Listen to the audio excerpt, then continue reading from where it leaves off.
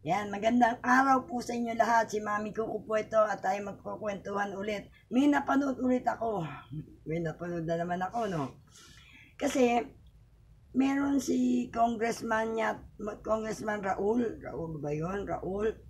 At ah, may tinanong siya kay BP Sara. Ang sinagot ni BP Sara, 2 to 3 years daw, bago mapapat, mapapalitan nila at curriculum ng K-12.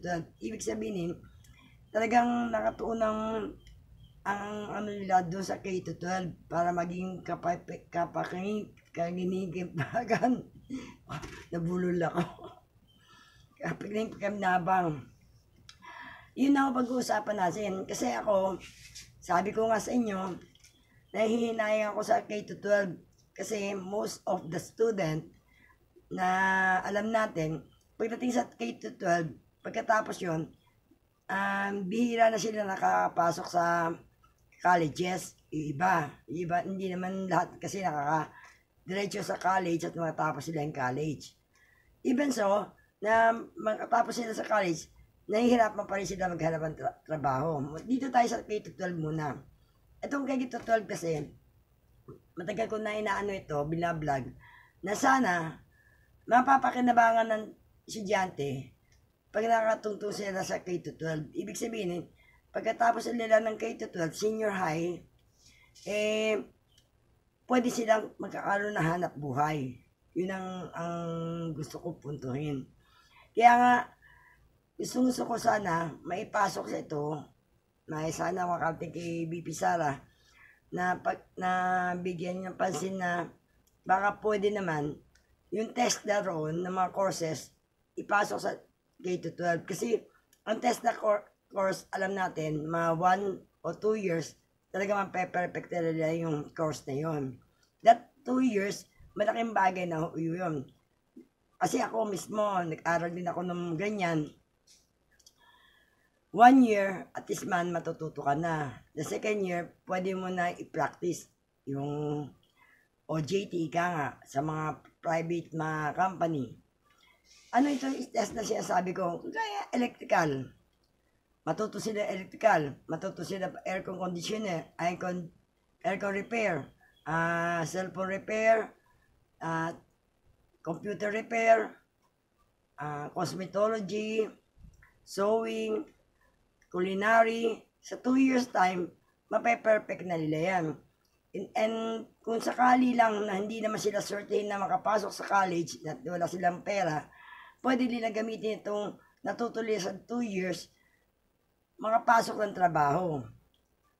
O kung di kaya, magkaroon ng sariling hanap buhay. For example, um, nag-aral sila ng culinary, pwede sila magluto sa bahay at magpa online delivery.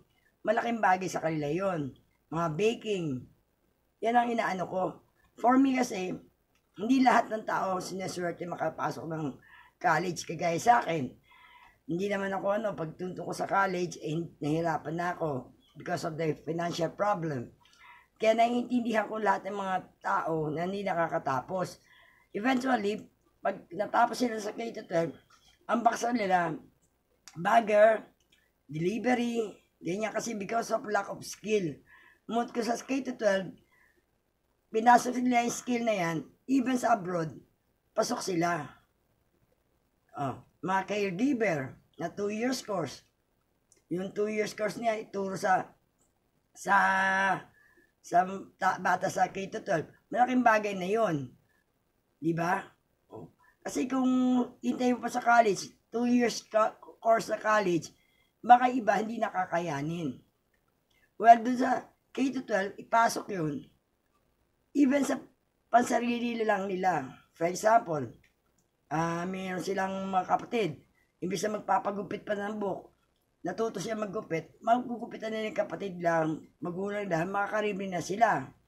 At the same time, pa rin pala sideline sa mga kapitbahay nila. In that case, magkakaroon sila ng extra income, pwede nila tustusan ng sarili niya sa pag-aaral o allowances. Even na public ang may public college, ang problema pa rin, pamasahe, baon, pagkain, So, kung mayroon silang ganyan na sideline, automatic, hindi nila na, hindi na po problema ng mga magulang ni- nila, sila. Di ba? Yun ang inaano ko. Kaya, sana, sana yung sabi nga ni BP Sara, pinag-aaralan nila, mga 2 to 3 years time ta, ay, 2 to years ah, 1 to 2 years time yata ang pagsabi, eh, may pasok na ito. In this case, matututo ang mga bata. Mapa, magagamit nila yung pinag-aralan nila. For example, sa bata, sa bahay, oh, na sira nila, nasira yung electric pan nila, oh, eh, natu- pinag-aralan nila yon automatic, magagawa nila ng paraan yun para magawa gamit ng electric, electric pan nila. At the same time, sa mga kapitbahay, mga repair-repair, cellphone repair, na malaking tulong kasi alam naman natin, cellphone repair, ma, pinakamahina yan, 150 to 250. Oh. Isang trabaho lang yun, makakaroon ng baon ng bata. So, ma matutulong natin matuntong sa college. At the same time, skill sila. Hindi lang yung, yung curriculum na pag-aaralin na ulit sa college yung sa K-12, pag-aaralan ulit nila, paulit-ulit lang yun. Parang history. paulit-ulit lang. Si Jose Rizal, mula sa grade 1, grade 2, grade 3, grade 4, hanggang grade 6, si Jose Rizal. Memorize ng tao yan eh. Why not ipasok natin ang, ang K-12 dito? Yung test na rito sa K-12. Oh. Hindi na mapakinabangan ng mga bata. Mapapakinabangan ng pamilya. Dito, at least, mababawasan na ang employed. Dahil, self-employed sila. Sarili nila.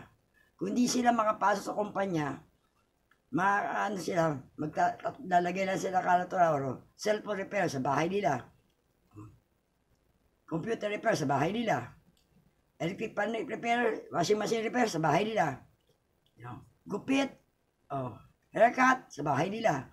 So magkakaroon sila income. Hindi mababawasan ang ang walang trabaho. Mababawasan ng taong may hirap. Ikaangat sila sa level, second level. Yun ang ang sa akin. Alam naman natin, makinicure, pedicure, magkano halaga. Oh. Kaya malaking bagay yan sa mga bata. Matuto na ngayon.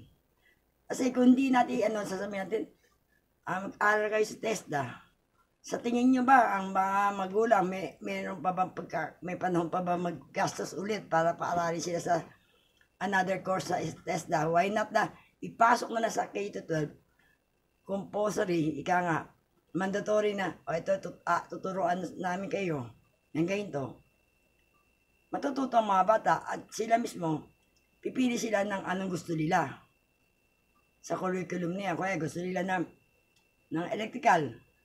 Ah, Pag aanin nila yung subject ang aanin nila. Diba?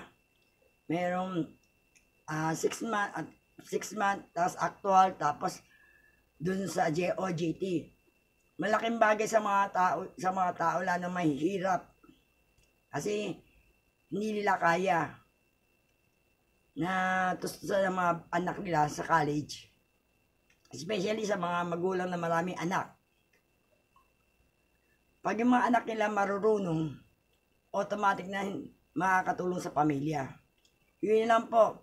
Sana po madin, makakarating to kay BP Sara na pag-isipan nila na instead na another na algebra, theology, eh, tri- trigonometry, yung English, mga ganyan mga ano, math, yung se- se- sec- ano, senior high, tsaka, saka sa senior high, yung K, KT12, senior high, eh yun ang mga ulit pag-aaralan, paulit-ulit, iba naman ho ituro natin para na umunda tayo, ika nga, hindi lang, lagi lang yung regular nangyayari. Isipin natin, sa taga-taga ng panahon ng education, ganito ganito pa rin lagi nagiging problema ng tao. Walang trabaho. Ngayon, kung ito skill na ito ituro, automatic may kakaroon ng trabaho ang tao. Hindi ma makapasok kumpanya, self-employed, po pwede sila. Di ba? Ay, aminin natin. Napakahirap talaga maghanap ng trabaho. Kukunti lang ang mga kumpanya. Oh, kukunti lang ang mga matanda na nagre-retired. Minsan eh, nilulumot na yung mga, mga empleyado doon sa trabaho nila. Di ba? So, ang mangyayari, yung mga nag-graduate, taon-taon may nag-graduate, nag-graduate, dumadami na dumadami nag-graduate. Oh. Kung skill yan, lalo sa abroad, eh hindi man yung mga skill na yan. Lalo na kung may certification sila, may diploma sila, na nakagraduate sila ng 2 years ito at test up ano sila at may OJT sila na company na nagpapatunay na mag- maganda ng performance sila eh pagdating nila 18 years old pwede silang mag-abroad magtrabaho. Oh, mas madadami OFW na atin na hindi DH ang trabaho o anuman kundi skill at ang alamin natin skill worker ay malatataas ang sweldo sa abroad. Diba? Yun lang po. Kasi nga sabi ko, iba-vlog ko ito kasi napanood ko kay BP Sara na natuwa ko na nakatuon ng pansin niya sa K-12 na siguro nakita naman niya na na sayang lang kasi paulit-ulit lang tinuturo eh pakinabangan natin itong K-12 ito maganda ito. Pasok natin ang test na rito. Sa K-12 ito 2 years 2 years na K-12 test ng subject ang gamitin ang turo natin mapapakinabangan ng pamilya. Yun lang po.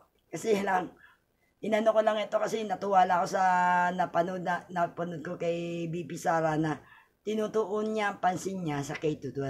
Pinag-aaralan niya. Maraming salamat po, Bibi Sara. Sana ito makarating sa iyo. Sana nga makarating. Salit ng aking aking channel eh, baka hindi makarating mo. Sana, ma-share ninyo para magkaroon ng idea rin si Bibi Sara. Malay mo nyo na okay naman sa kanya idea na sinishare ko. Yun lang po sa in- yun lang po. Pasensya na kayo, medyo matagal-tagal ako hindi nakaka-video kasi gusto ko naman may magandang ichichika tayo, hindi yung lagi lang yun na yun. Kasi ako man, nasasawa ko yun na yun ang ikudekwento eh. Maraming salamat po sa inyong panonood. At kung hindi pa kayo na, hindi ano, at natuwa kayo sa akin, nabubulo na ako, no? At kung na gusto naman nyo ang aking topic for today, eh, paki-like lang po. At pag nagusto naman nyo ang kwentuhan ko at tingin nyo may laman naman ng aking content, paki, paki-subscribe na rin po para lagi tayo magkikita-kita. Maraming salamat po. Love you all. Bye!